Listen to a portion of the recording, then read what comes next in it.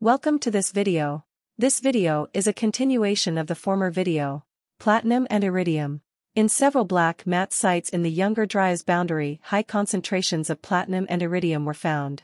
For me, JM, the presence of platinum and iridium most probably is an indication that the haplogroup R produced, also, advanced products in metals, like platinum-iridium alloy, or used ores with platinum and iridium in their blast furnaces. Platinum-iridium. Alloy is a readily worked alloy, platinum iridium is much harder, stiffer, and more resistant to chemicals than pure platinum, which is relatively soft.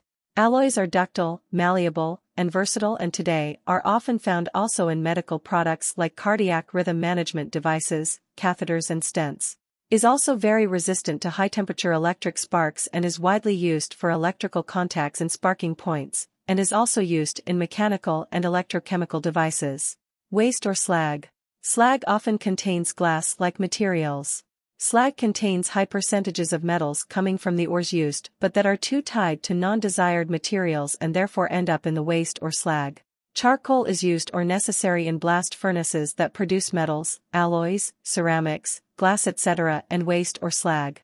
So this already makes up for most if not all of the elements found in the black mats, and this in the detected concentrations or percentages deforestation, rising CO2 and Younger dry Dryas warming. Further the deforestation for the high-demanding blast furnaces injected CO2 in the lower atmosphere which causes warming. Please see extreme warming since 12,800 BP represented by the red line with number 3 starting at the green arrow up. Not from meteorite. Now just some arguments that the black mats have nothing to do with a meteorite impact nor with burning of forests or of vegetation. Meteorites contain too low percentages of certain metals to make up for the percentages of certain metals found in the black mats.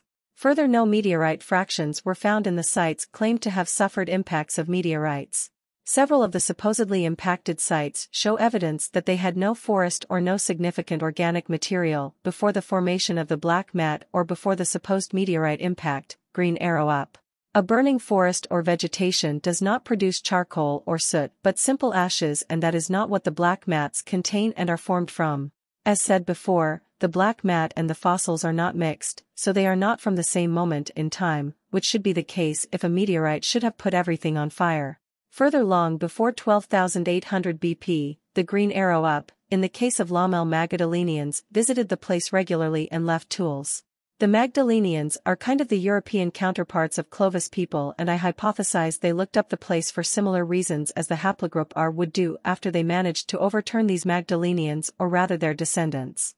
The site presents material in bulk, a special kind of sand, sought for and used in several industrial processes like the production of metals, alloys, ceramics, glass, artificial diamonds and magnets in blast furnaces or involving blast furnaces extinction had nothing to do with the black mats.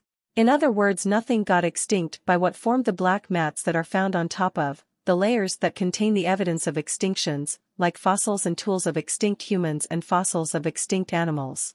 Sometimes there are separating layers in between, and sometimes there are multiple black mats on top of each other which is kind of an additional proof the black mat was not from a meteor or a meteor rain. Whatever caused extinctions was clearly before the formation of the black mats. For consensus the black mats are formed by a meteorite impact, green arrow pointing up, and consequent burning of organic material. Charcoal found in the black mats is not simply a matter of burning organic material or a wildfire or a forest burning down. The production of charcoal is a rather controlled process, not a spontaneous burning process.